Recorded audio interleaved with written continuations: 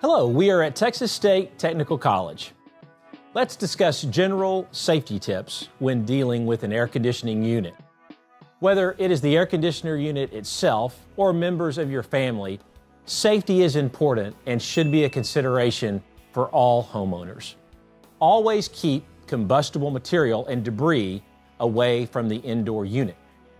You'll also want to keep debris, high grass, hedges, and fencing away from the outside unit. These objects can impact the system's ability to function properly. A good thing to keep in mind is to have pets separated from the outside unit. They can and will chew on air conditioning wires. Pet urine can also ruin the air conditioning unit. To avoid costly repairs, it is best to isolate the unit from pets. For more information about air conditioning safety or to contact an Aire Serv near you, visit aireserv.com.